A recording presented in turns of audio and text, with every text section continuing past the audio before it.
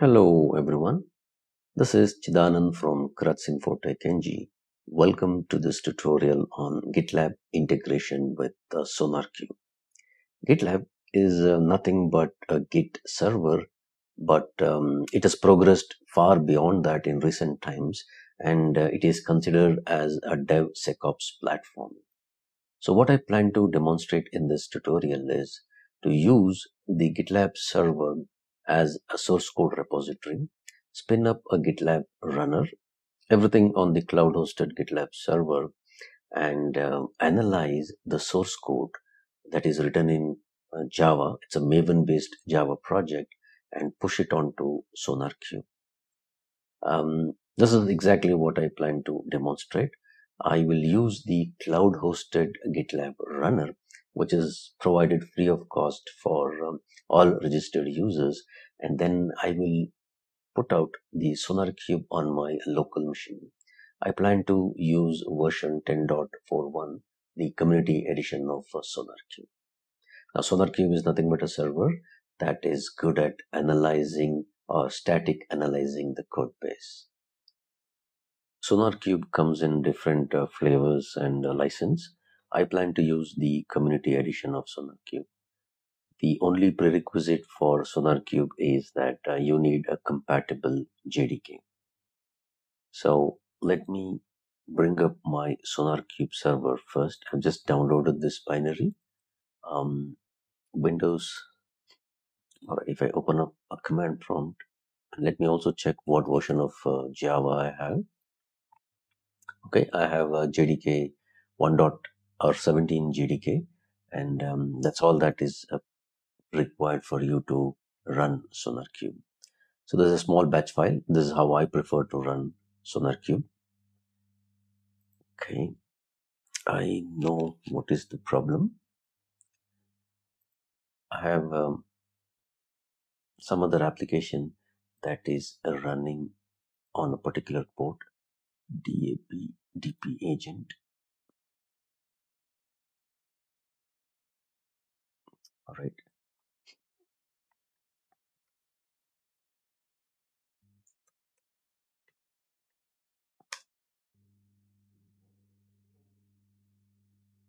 Okay, this will take a while for it to come up, maybe a couple of minutes. So let me pause the recording and then come back once uh, SonarQube is up and running.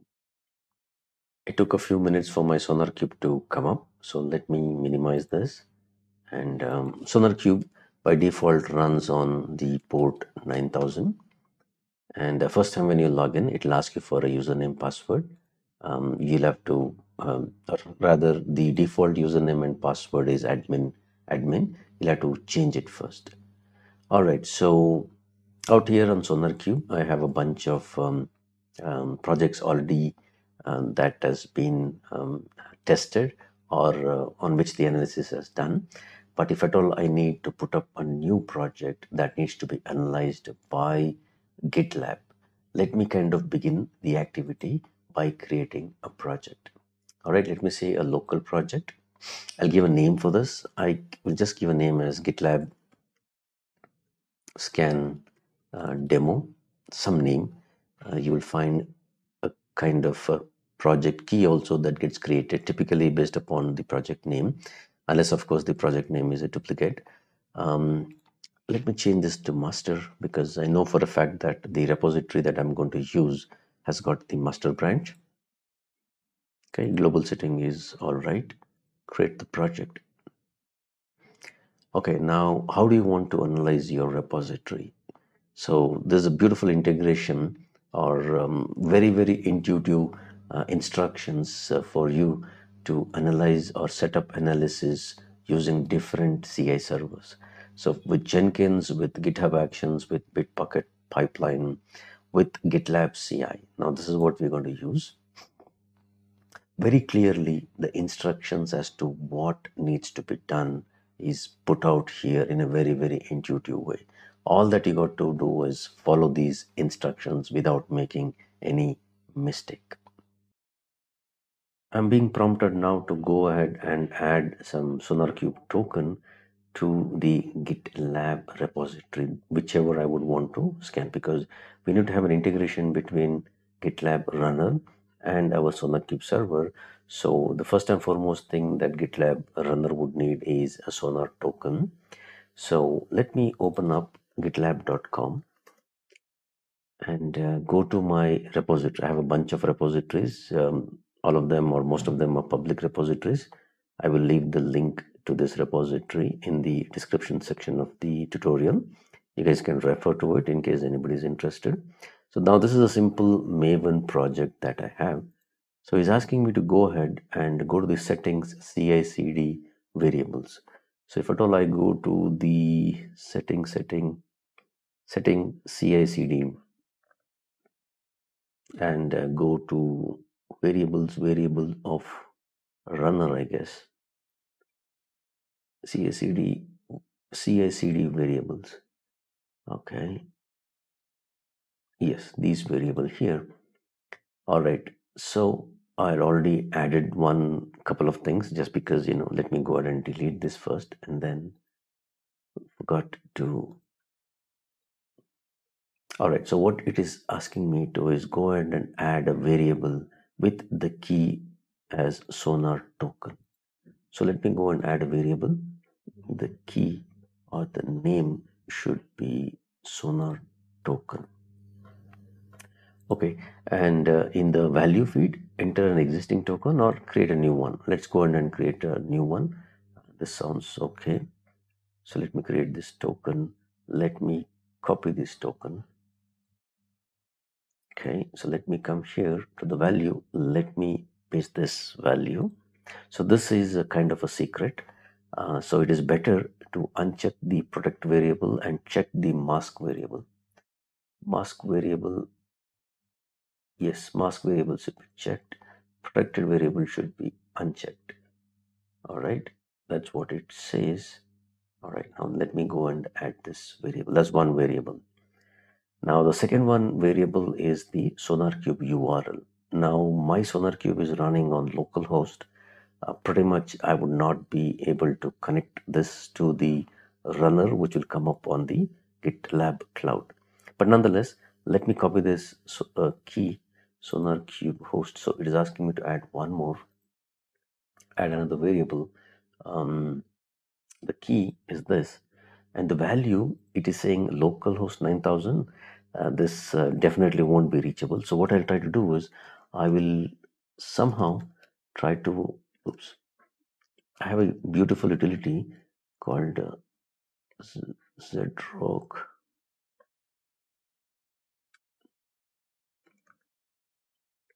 Notepad readme okay what is the command? Let me try to expose um, my uh, local 9000 whatever is running on the 9000 port as a public uh, url so this is what i should do. 9000 is my uh, local host. 9000 that is where my SonarQube is running. So I use a small tool called uh, ZROK uh, I used to use something else earlier but that has become a licensed product now. So I use this. This is nothing but an open source uh, solution.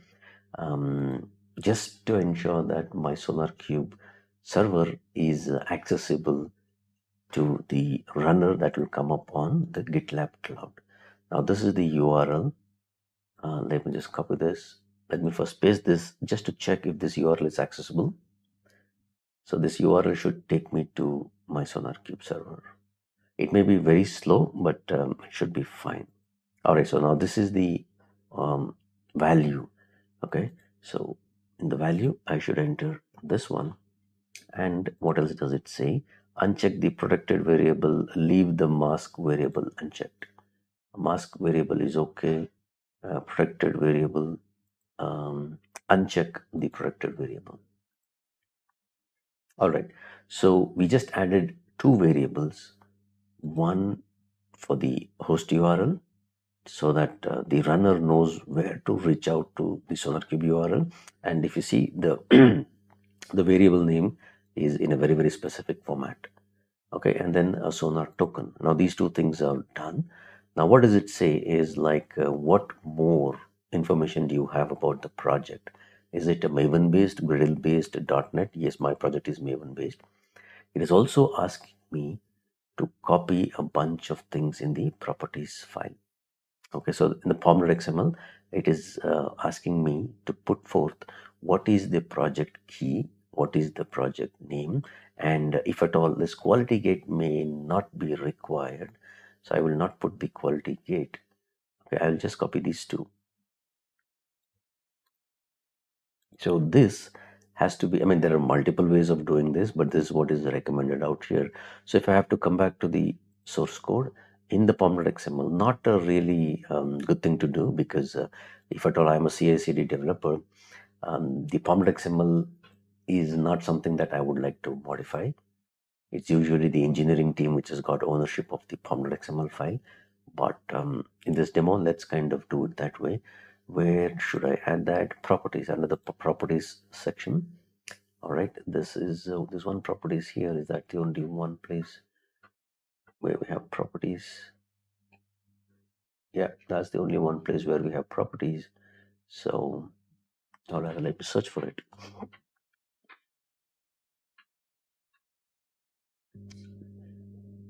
Yeah this is the only place. So I will add after this I will add this sonar.project key and uh, the project name.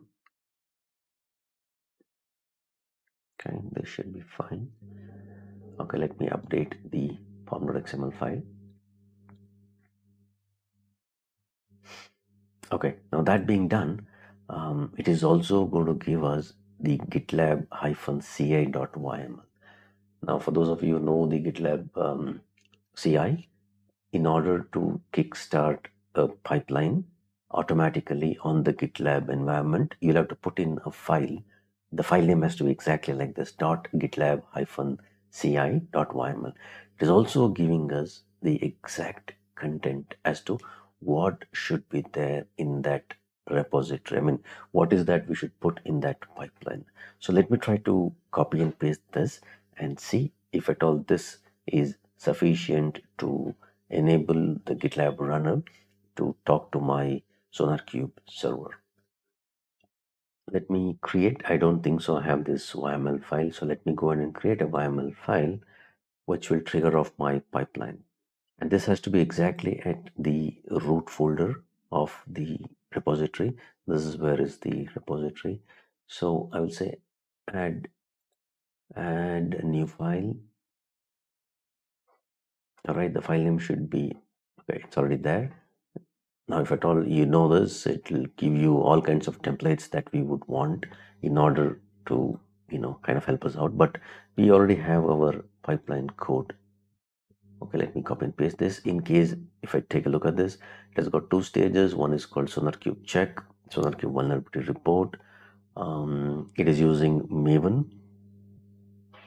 Maven with uh, I think this should be JDK 17. Um, SonarQube project URL, uh, git depth, uh, MVN verify sonar colon sonar. Um, this is all the um, the vulnerability report will be attached there. That sounds okay. Artifact, uh, you know, or let me know. Take a look at what all is there. And, um, let me just go ahead and modify this and see if automatically a job gets kicked off in my GitLab runner. You'll find that um, a pipeline is kicked off and um, SonarQube check is happening. That is the first stage that I had put out. It's going to pull out a Maven repository, I mean a Maven um, based Docker image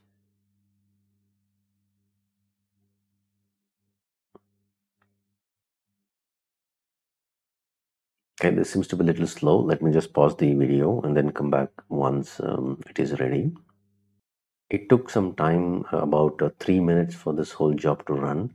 Maybe because um, my SonarQube server is exposed through an US server, the traffic might have been very slow. Um, so, but let me check the job. So there is this two stages that is mentioned. Okay, so all the information about the repository has been passed to the SonarQube server and you can go ahead and put up some sort of a quality gates on the SonarQube server. Uh, well, I didn't want you to do that. Uh, there's also a vulnerability report that is put out. Uh, all of them are, uh, most of them I mean, points to the SonarQube server. Um, all right, that sounds good. Let me come back to my, okay, there you go. My report on my SonarQube server for the GitLab scan that we just now did two minutes ago. Um, projects, uh, how to sort this. Uh, yeah, okay, sort uh, in the descending order. You see here, just three minutes ago, the scan kind of happened. Whatever was there, good things, bad things in the project is all highlighted here, including the reliability, security, and the code coverage. So my which part of my application code has been covered by a test case. Now the coverage is very low. Um, the repository did not contain really good code, but then the idea was just to demonstrate how easy and simple it is to go ahead and um, configure a repository on the GitLab server to be analyzed by a SonarQube. So if you remember what, what I did, I went to the SonarQube server, put out an information about a particular project and then asked it to be integrated with GitLab Runner, all the information uh, regarding the kind of uh, URL that GitLab Runner will have to reach out to SonarQube and a token and a bunch of project specific uh, information for Java and Maven. It's just the key and um, the project name and the key for projects having um, any other programming language. A bunch of other uh, configuration should also be passed on. But then uh, for a Maven project, as simple as that. And uh, SonarQube also gives us the GitLab runner YML file or the YML file that needs to be put in to our Git GitLab server to put up our pipeline. I hope uh, you enjoyed this tutorial. Thank you so much for stopping by and watching my video. Please consider subscribing and liking my video. Thank you so much.